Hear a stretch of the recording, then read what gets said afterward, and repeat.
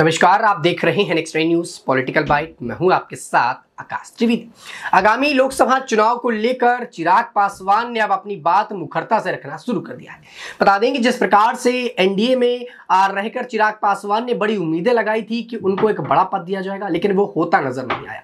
और जहाँ पर चिराग पासवान को कहीं ना कहीं बीजेपी ने नदारत किया, जिसके बाद चिराग पासवान ने आज आरजेडी के साथ जुड़ने का बड़ा फैसला किया। लेकिन अब एक बार फिर से चिराग पासवान वैसे ही तमाम बातों को बोलते नज़र आए। बता दें कि चिराग पासवान अब कहीं ना कहीं लोकसभा चुनाव को लेकर अपनी बातों को साफ़ कर रहे हैं और यहाँ पर जीतने की उम्मीदों को लेकर बड़ी अटकलें सामने आ गई। बता दें कि यहाँ पर चिराग पासवान ने साफ़ तौर पर बीजेपी को लेकर तमाम बड़ी बातें कह दी और आरजेडी को लेकर भी कह दी। और ये बता दिया कि लोकसभा चुनाव से पहले जीतना ना जीतना किसके हाथ पर है? क्या कुछ कहा चिराग पासवान? ने आप सुनिए जरा। भाई, अब कौन थके हुए थे, कौन नहीं थे, कौन किससे काम करवा पाया, नहीं करवा पाया, ज़्यादा समय नहीं है। चुनाव अब लगभग सर पर ही है। इन तमाम बातों का आंकलन इन चुनाव में हो जाएगा। जनता से बड़ा तो और कोई नहीं है इन बातों का फैसला लेने के लिए।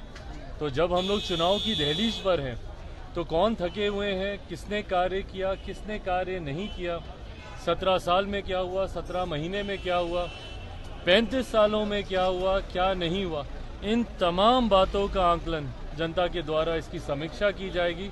और परिणाम भी जल्द सामने आ ही सुना आपने? तो दर्शकों, यहाँ पर चिराग पासवान ने लोकसभा चुनाव से पहले बड़ा बयान दे दिया, जिसके बाद अटकलें लगने लगी कि अब चिराग पासवान किधर जाएँगे। क्या बीजेपी की तरफ़ से चिराग पासवान को कोई बड़ा पद मिल सकता है और क्या आरजेडी अब चिराग पासवान को अपने साथ रख लेगी क्योंकि लगातार देखा गया कि चिराग पासवान जब भी बीजेपी में जाते रहे, बीजेपी उनको नहीं पूछती रही। और आरजेडी में आने के बाद भी क्या चिराग पासवान को एक बड़ा पद मिल सकता है? क्योंकि अकेले के सांसद चिराग पासवान किसके साथ जा सकते हैं? और कोई भी पार्टी अकेले के सांसद को अपने साथ नहीं साधना चाहती, क्योंकि यहाँ पर चिराग पासवान अकेले के अपनी सीट से सांसद और विधायक और ना ही उनके पास कोई विधायक दल है।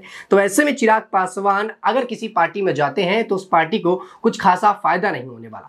कहीं इसी वजह से बीजेपी उनको नदारत तो नहीं करे। लेकिन फ़िलहाल चिराग पासवान ने जो बयान दिया, उसके बाद ये अटकलें लगाई जा रही हैं कि चिराग पासवान अब कहीं ना कहीं आरजेडी के साथ जा सकते हैं और एक बड़ा समर्थन दे सकते हैं। दर्शकों देखना होगा कि क्या सचमुच चिराग पासवान यहाँ पर लोकसभा चुनाव से पहले आरजेडी का दामन थाम लेंगे और क्या तेजस्वी यादव की इस यात्रा में चिराग पासवान अपना बड़ा समर्थन देंगे। फ़िलहाल के लिए देश दुनिया की तमाम खबरों से जुड़े रहने के लिए देखते रहिए न्यूज़ पॉलिटिकल बाइट